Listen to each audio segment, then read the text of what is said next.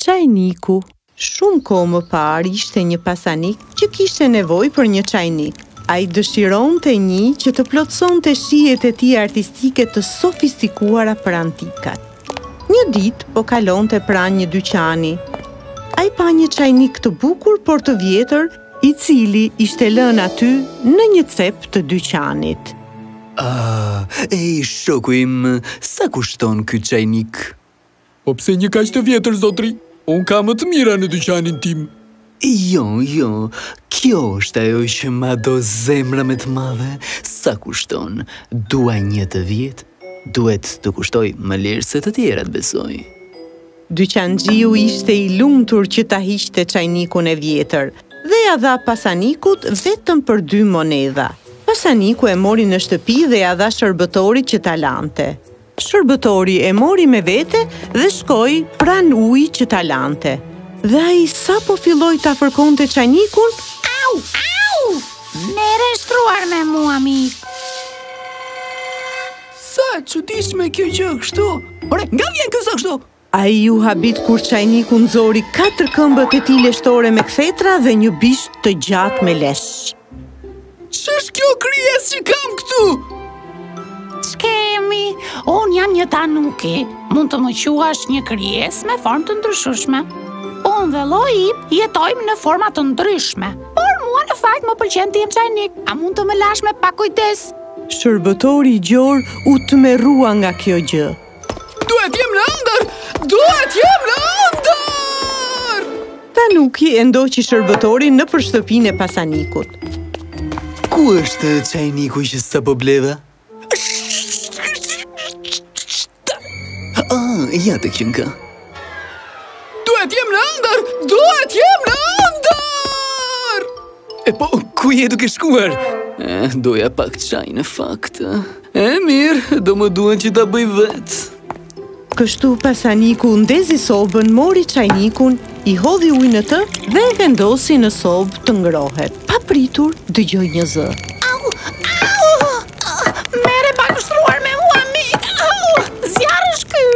Çajniku Tanuki nxori katër këmbët e tij dhe bishtin e gjatë dhe kërceu nga soba duke e frikësuar pasanikun.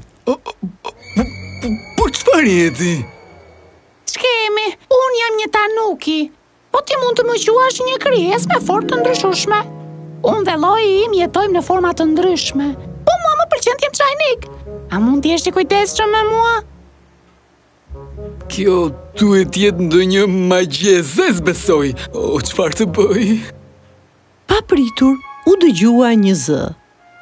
Çajnik të vjetër! Kush ka çajnik të vjetër? Më jepni çajnik të vjetër! Nëse ti nuk më do mua, pse nuk më shet tek ai? Tanuki u transformua në një çajnik të pafajshëm. Pasaniku e mori çajnikun dhe vrapoi me të. Ej, miku im, kam një çajnik për ty. Wow, ky qenka shumë i mirë. Faleminderit. Vetëm ai qese të lutem. Tregtari e pëlqeu çajnikun dhe e mori në shtëpi.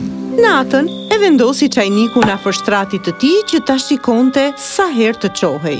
Por kur po flinte, Natën Tanuki u bë vetja e tij dhe kërceu nga tavolina të shikonte shtëpinë e tij të re.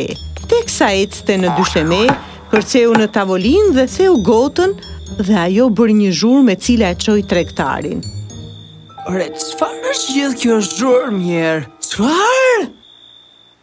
Ç'kemi? Unë jam një tanuki. Po ti mund të më quash një krijesë me formë të ndryshueshme. Unë dhe lloji im jetojmë në forma të ndryshme. Po mua më pëlqen të jem çajnik. A mund të jesh i kujdesshëm me mua apo edhe ti do më kërvishësh apo të më djegësh?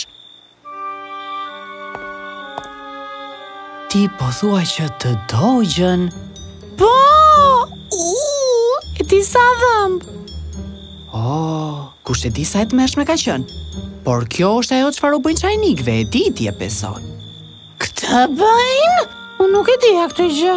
Të lutem, mos ma bëj këtë, të lutem. Jo, mua më pëlqen forma që ke, nuk do të trajtoj si një çajnik. A bëhemi shokë? Shokë.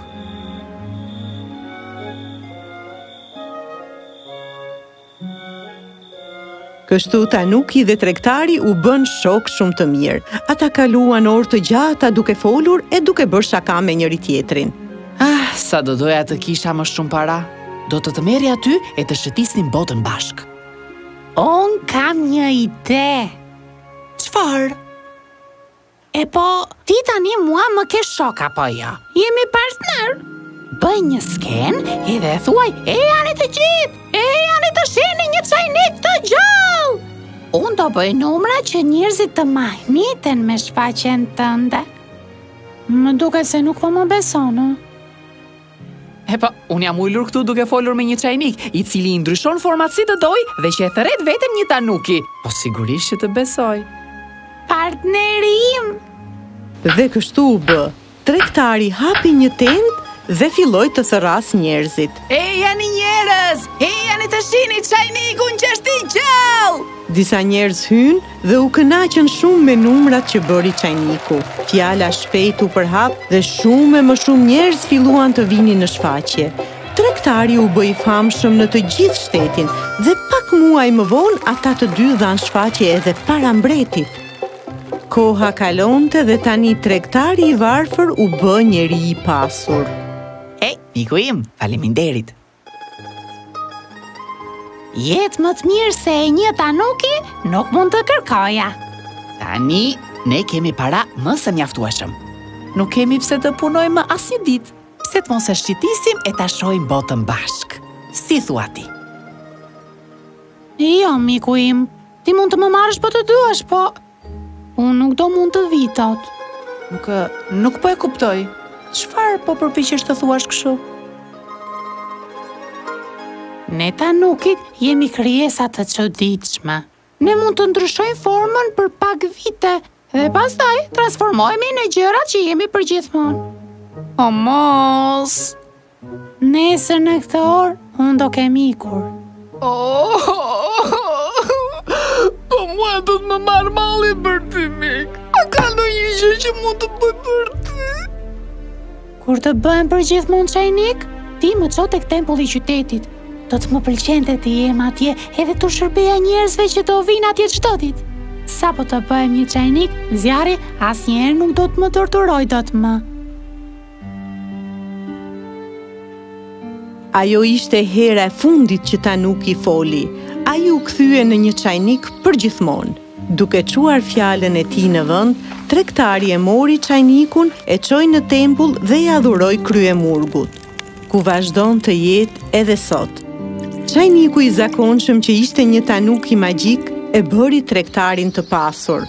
Tregtari nga ana e tij dha gjysmën e pasurisë për të ndihmuar të varfrit në nevojë të qytetit të tij. Ai ia dedikoi jetën e tij ndihmës së të tjerëve. Ashtu si Tanuki që e ndihmoi atë, edhe tregtari ndihmoi të tjerët, sepse kështu është jeta, nuk zgjat përgjithmonë. E kemi vetë në dorë të mërzitemi për çfarë humbasim ose si Tanuki dhe tregtari t'i japim jetës tonë më shumë kuptim, duke përdorur çfarë kemi për të ndihmuar njerëzit.